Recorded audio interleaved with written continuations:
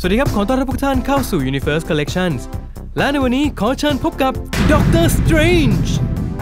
Doctor Strange นะครับ เป็นสินค้าปกติของ Mesco นะครับ มาในกล่องแบบปกติ ด้านหน้ากล่องและด้านข้างมีสัญลักษณ์ Sanctum Sanctorum นะครับ แล้วก็ด้านหลังกล่องครับ ก็เป็นรูปภาพโปรโมทสวยๆ ของทาง Mesco ที่ทำไว้ครับ เอาละครับ เพื่อไม่เป็นการเสียเวลา เรามาแกะกล่องกันเลยดีกว่าครับ เมื่อแกะออกมาแล้วนะครับก็จะเห็นด้านในกล่องแบบนี้ครับเอาละมาดูตัวหุ่นกันเลยนะฮะ โอ้โห สวยงามมากเลยเหมือนถอดแบบมาจากคอมิกเป๊ะๆนะฮะ ดูลายบนเสื้อนะครับ แล้วก็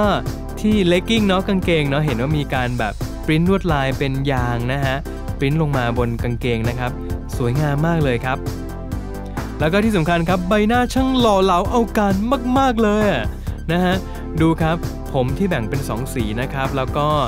หน้าตานะฮะคือทั้งหน้าทั้งคอเนี่ยมีการเพ้นท์มาด้วยนะครับ คือเพ้นท์แบบให้เป็นสีเดียวกันน่ะแล้วก็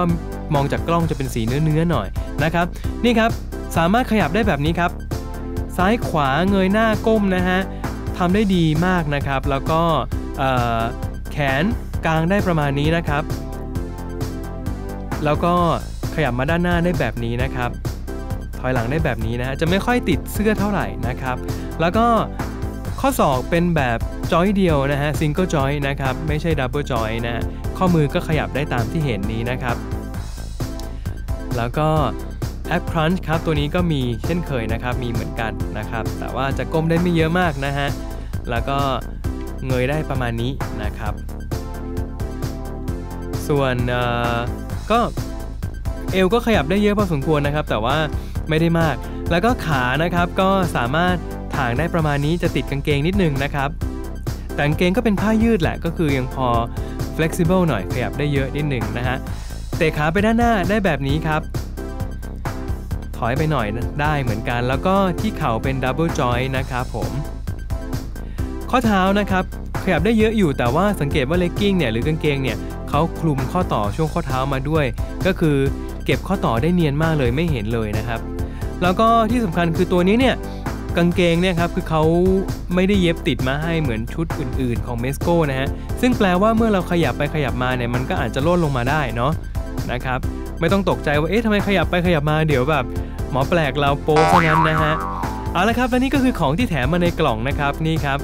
สแตนนะครับก็เป็นรูปเซงทัมเซนทรัมนะครับแล้วก็มีมือมาให้ 2 คู่นะครับเป็นมือแบบไร้เวทมนต์นะฮะ คู่หนึ่งแล้วก็เป็นมือแบบแบนะครับคู่หนึ่งนะครับ แล้วก็ถัดมาครับนี่ครับเป็น Eye of Okamoto นะครับ ซึ่งก็อันนี้เป็นแบบปิด ปกติที่ติดมาที่ตัวจะเป็นแบบเปิดเนาะเดี๋ยวเราค่อยมาดูวิธีใส่กันนะครับ อันนี้ก็เป็น effect part นะครับ ให้มา 2 สีด้วยกัน สีนี้เป็นสีออกฟ้าฟ้าเขียวเขียวๆนะ ออกฟ้าซะมากกว่าเนาะ ก็จะเป็นรูปดาวนะฮะแล้วก็ สามารถ attach กับมือได้ง่าย เดี๋ยวเรามาดูกันว่า attach ติดยังไงนะครับ อันนี้ก็เป็นสีออกเป็นแบบฟ้าออกออกเหลืองๆส้มๆนะฮะออกเหลืองส้มนิดหน่อยนะครับ ก็เป็นรูปสามเหลี่ยมเนาะก็จะมีสามเหลี่ยมกับรูปดาวนะครับ สวยมากเลย แล้วก็มี stand แถมมาให้นะครับ stand ตัวจับนะครับผมแล้วก็อันนี้ครับเป็นเอฟเฟกต์ที่แบบว่าเหมือนกับเป็นคล้ายๆ force projection อย่างนี้เนาะ สวยมากเลยฮะ ดูแบบนูนขึ้นมานะครับ เดี๋ยวเรามาดูว่าเขาไว้เล่นยังไงเนาะอ่าละฮะ ก็ส่วนไหนก็โอ้ยส่วนไหนก็เอามาติดกับสแตนนั่นแหละ อันนี้ครับไฮไลท์ของเขานะฮะ cloak of levitation ใช่ไหมครับ ตัวนี้ ผ้าทำมาเป็นแบบเงาเงานะฮะ สวยแล้วก็มีขอบทองนะครับที่สำคัญคือ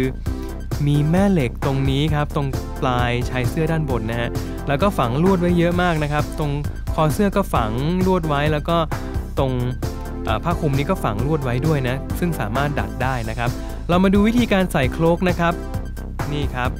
ไม่มีเลยแค่แปะไปปุ๊บติดเลยนะฮะ นี่คือมีแม่เหล็กติดอยู่ที่ผ้ากับที่ตัวของด็อกเตอร์สเตรนจ์ด้วยนะครับเนี่ยแตะปุ๊บติดปั๊บนี่ฮะวัยรุ่นเมล่าแตะปุ๊บติดปั๊บอะนะครับผ้าคลุมสามารถดัดได้เยอะนะครับ แต่นี้ผมลองดัดเล่นๆดูมันก็เลย เลยอะลองดัดดูนิดนึงอะเนี่ยครับ ก็จะเห็นแบบนั้นนะฮะดัดได้อิสระเลยนะครับทำได้เยอะมากนะครับสำหรับผ้าคลุมนี้นะครับเนี่ยฮะแค่แปะลงไปเฉยๆนี่ก็หล่อแล้วอะครับ ผมประทับใจกับผ้าคลุมนี้มากนะครับเอาล่ะเรามาดูการใส่สแตนนะครับ ก็ต้องเอามาจิ้มตูดแบบนี้ก่อนนะฮะได้เป๊กหลุดไปปุ๊บแล้วก็เอาสแตนมาใส่แบบนี้นะครับ แล้วก็เดี๋ยวเราเอาเเขาเรียกอะไร force projection เหรอ อันนั้น Star Wars เนี่ยผมไม่รู้ว่าเขาเรียกว่าอะไรนะฮะ ก็เอานี้มาใส่นะครับ แบบนี้ครับ นี่เป็นไงฮะ ดูเหมือนกับว่าด็อกเตอร์สเตรนจ์เรากำลังแบบถอดจิตอะไรประมาณนั้น อะไรอย่างนี้ไหมฮะ เอาผ้าคลุมใส่เข้าไปนะครับ ก็จะเป็น prop อีกแบบหนึ่งเลยนะฮะ ตอนนี้เรามาดูวิธีการถอด Eye of Agamotto ครับ ก็ไม่ยากเลยครับ ดึงปุ๊บออกเลยนะฮะ แล้วก็ เอาแบบตาปิดเนี่ยใส่เข้าไปนะครับ แต่ว่ามันจะมีแง่งของมันอยู่นะครับ ไม่อย่าอย่าไปฝืนมันนะฮะ ลองหมุนหมุนหาแง่งให้เจอก่อน แล้วก็ใส่เข้าไป ก็ง่ายมากเลยครับเอาละครับทีนี้มาดูวิธีการใส่ effect part นะครับตอนแรกนึกว่าต้องถอดมือปรากฏว่าไม่ต้องนะฮะก็คือสามารถสวมเข้าไปได้เลย ไม่ว่าจะใส่มือแบบไหนอยู่นะครับ ก็สามารถใส่ได้นะครับ เพราะว่ามีช่องว่างเหลืออยู่นะฮะตรง ตรงเอฟเฟกต์กับมือมีช่องว่างเหลืออยู่ สามารถใช้มือแบบมือแบมือ มือเหมือนแบบมือไร้เวทมนต์อะไรนี้ก็ทำได้นะครับเนี่ยฮะใส่เข้าไปง่าย ๆ แบบนี้เลย หล่อเลยหล่อขึ้นมาทันทีเลยเอาละครับ ต่อไปนะครับเป็นเปรียบเทียบขนาดไซส์ body นะครับ ตัวนี้ด็อกเตอร์สเตรนจ์ใช้ body เดียวกับโจ๊กเกอร์นะครับทำให้ความสูงเท่ากันจุดขยับเหมือนกันนะครับ ต่างกันตรงที่ว่า โจ๊กเกอร์นั้นคอกับหัวนั้นถอดออกมาไม่ได้ แต่ของด็อกเตอร์สเตรนจ์นั้นถอดได้นะครับ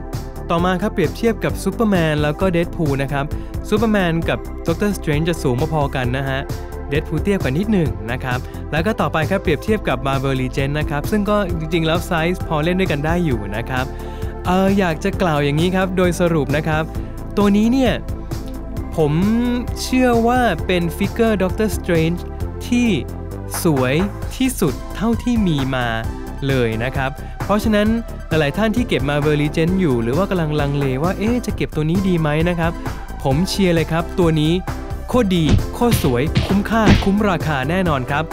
แล้วก็ที่สำคัญครับตัวนี้ผมได้ยินมาว่าเขาผลิตไม่เยอะนะครับสำหรับใครที่ลังเลอยู่นะครับ ไม่ต้องคิดแล้วจัดเลย เอาละครับยังไงก็ขอขอบคุณสำหรับการติดตามนะครับ แล้วก็อย่าลืมกดไลค์กด Subscribe และกดกระดิ่งเพื่อติดตามรีวิวใหม่ ๆ ด้วยครับ แล้วพบกันใหม่คลิปหน้า สวัสดีครับ และเช่นเคยครับสำหรับทุกท่านที่สนใจสามารถติดต่อได้ที่ Facebook Fanpage mescotoys online by Toys DD ครับ